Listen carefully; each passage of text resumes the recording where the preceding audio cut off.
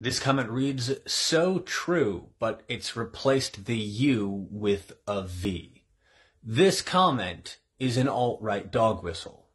They might be thinking, oh, History Wizard, he's clearly just misspelled the word. It's just a typo. I will remind you that the point of dog whistles is to allow for a certain level of plausible deniability.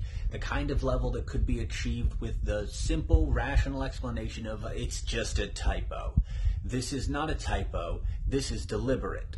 Fascists and the alt-right have a obsession with ancient Rome as the pinnacle of what society should be like, of the West. And if you look at old Roman carvings, you'll notice that there is no letter U.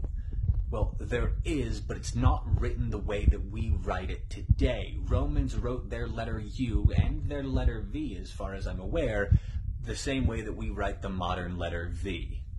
So yeah, uh, it's not a typo.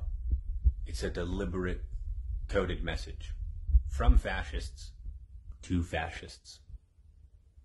Enjoy this cursed knowledge.